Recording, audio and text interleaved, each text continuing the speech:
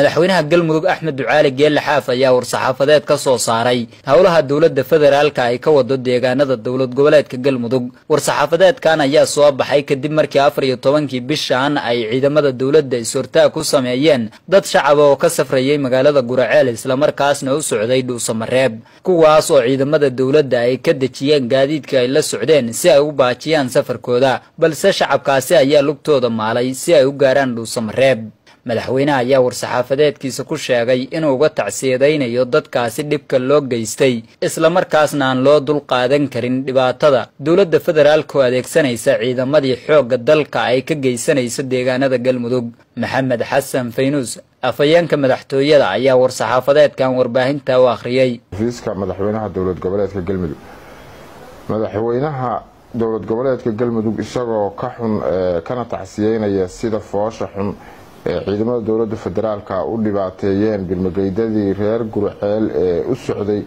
magaalada dhuusamareeb oo si sharci darra ah looga reebay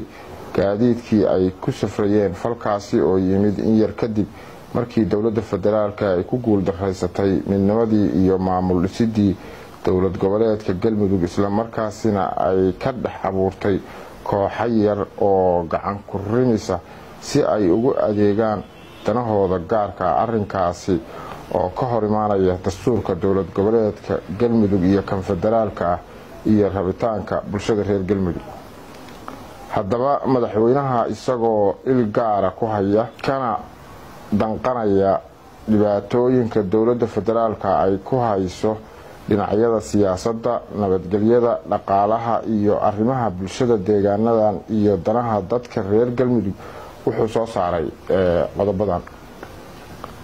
in dowladda federaalka ah faraha kala baxdo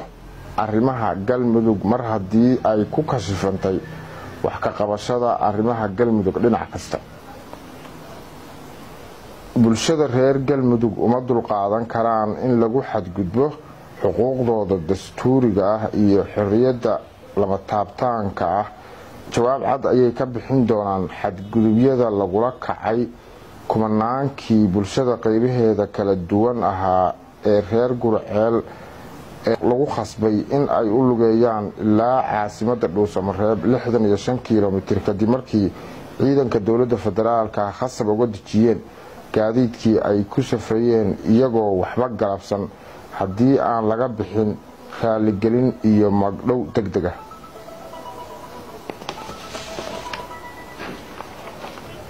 madaxweynuhu wuxuu cambaaraynayaa falalka bahalnimada ah ee ciidanka dowladda federaalka qaybahooda kala duwan. Ku beegsanayaan kuna caburinayaan shacabkii ay mas'uuliyaddu ka saarnayd in ay ilaaliyaan kana difaacaan cadowga gaar ahaan ciidanka danab ee kumaandooska ee ameerikaanku uu sida gaarka ah uu dhaqaalaha ugu bixiyo looguna talagalay la dagaalanka cadowga ee loo adeegsanayo caburinta shacabka iyo fulinta dana shakhsiyaad gaar ah. Madaxda iyo shacabka reer galmudug uma dulqaadan doonaan dhaqamada sharci darrada ah wayna kula xisaabtami doonaan khaladaadka ay ka galeen deegaanadooda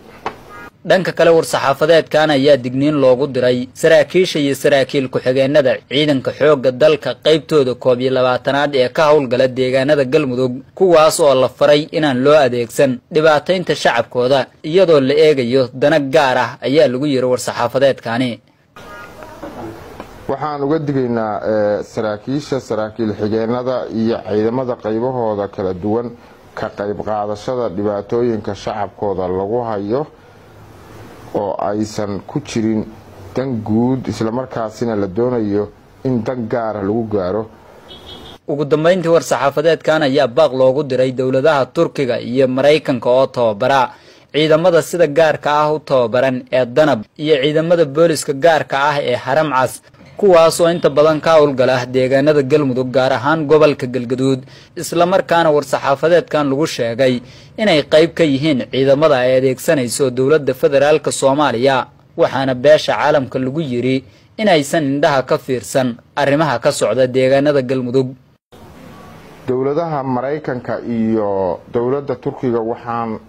ugu baaqaynaa in ay il gaara ku hayaan ciidamadii ay u tababareen la dagaalanka argagixisada oo loo adeegsanayo caburinta dadka reer galmudug islamarkaasina lagu dhibaataynayo dadka shacabka ah ee ku nool deegaanada galmudug si loogu khasbo wax aysan doonayn dadkaasi oo aan sharci ahayn.